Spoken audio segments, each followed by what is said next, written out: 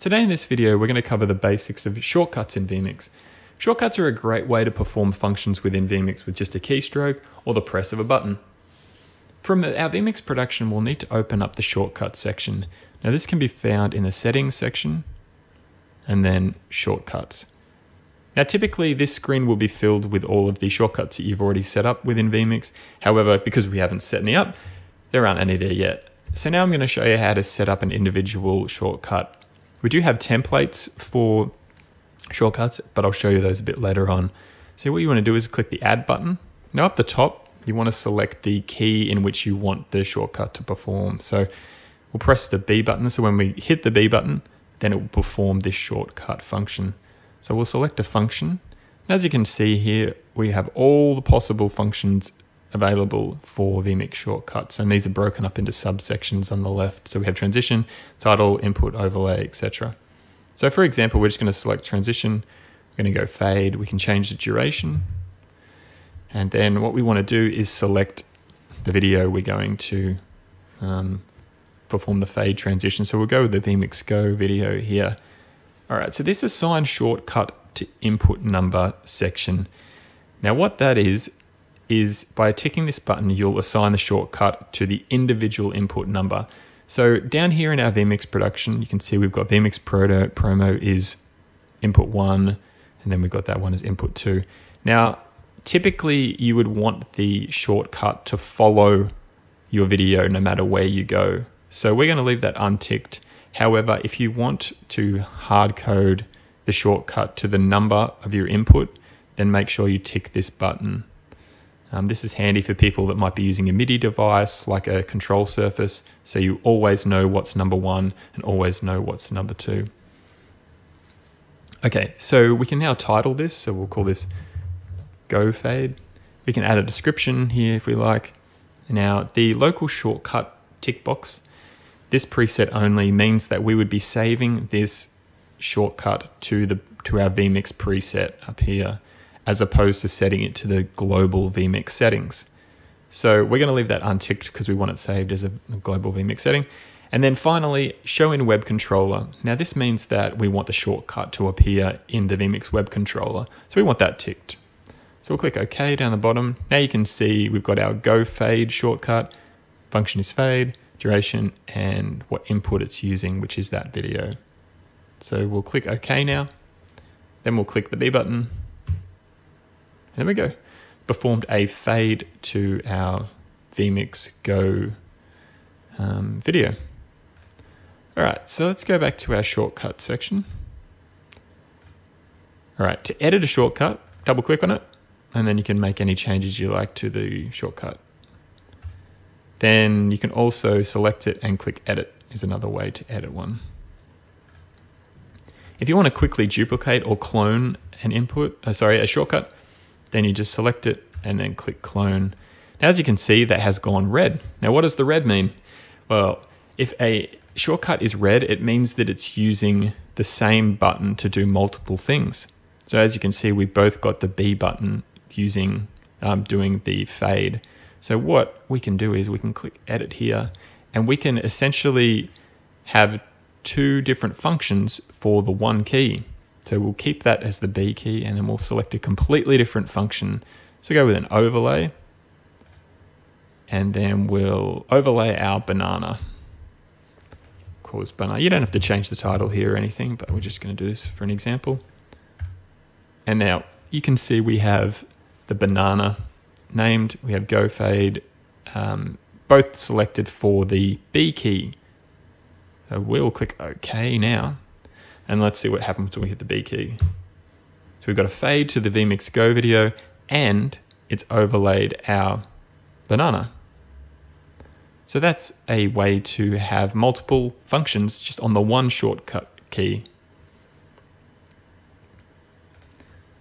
So let's just turn this off and we'll go back into the shortcut settings.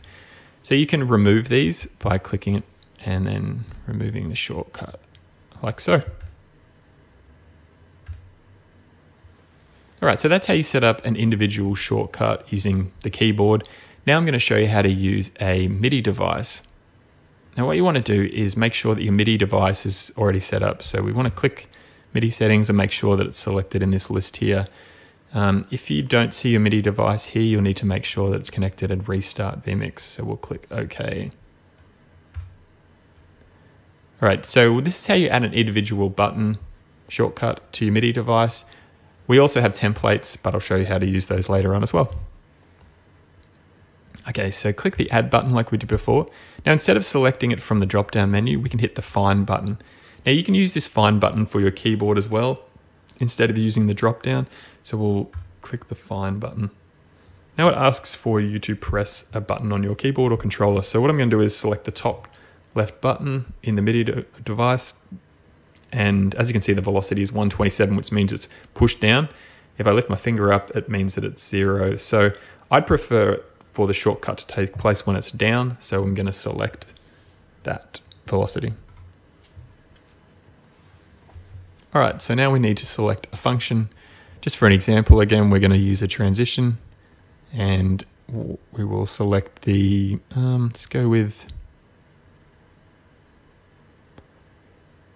this video here and select title again. Um, we'll just call this vMix and we'll click OK.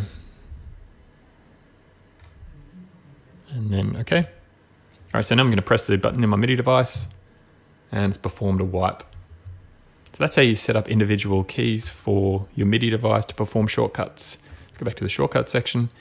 Okay, so as we mentioned before, we will have a, we have templates already set up. So I'll click on the templates button here. Now, this templates screen will show you the current setup. So because we just set up that one particular shortcut, as you can see here, we've got that vMix shortcut that we set up before to that top left-hand button. Now you can export this particular template, which is I strongly advise doing. So you can call it something, you can name it vMix template, and um, we can save that. So if we save, we export it and we save it, that means that we've always got a copy of that template. If somebody comes along to our vMix production, changes all our shortcuts, then we have a copy of it. So it's always best practice to um, create a copy. Once you've already set up your buttons, as you can see, there's a lot of buttons here. So if you set all those up, go to the time of doing that, make sure that you export it. And then naturally you can import that particular file. So we have that here, we can import that and that will load up what we already, uh, what we saved previously. You can also save this graphic. So if we had all these buttons loaded up and all of the functions will be listed down here. We can save that graphic and then we can print that out possibly or pass that graphic along to the person that might be using this MIDI controller.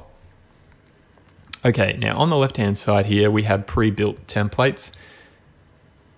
As you can see for the Akai APC, we have all these different buttons doing all these different things. So if you wanted to use this one or maybe manipulate it already, um, you can click apply and now this will replace all the shortcuts that we had before. So we'll go, yes. So now you can see this is our shortcut screen. All of those have been added. So that, that's a quick way to use it if you wanted to. If you liked most of the settings on that particular template, then we can go in and we can edit them individually if you wanted to. So we'll go back to the template section. So now that's changed to our current template. We have other ones here for different MIDI devices, including the keyboard. So if you wanted to set up your a keyboard template, you could do it quickly here, um, just as an example, or you could add them all individually and then um, save them if you wanted to. Okay, so we'll close that down now and we'll cancel out of that. So that's how you set up your shortcuts in vMix. You can set them individually, you can use a template, you can clone them, um, you can you can add multiple shortcuts to the one button. So there's a whole different different bunch of different things you can do with shortcuts in vMix.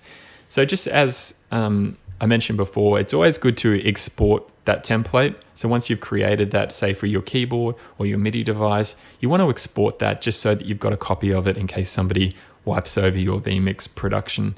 Um, so it will, your shortcuts will be saved in your overall vMix production, but if somebody then goes and changes that, then um, you, you want a backup of that.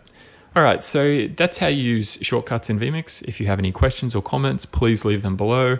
And don't forget to check out all our other vMix training videos.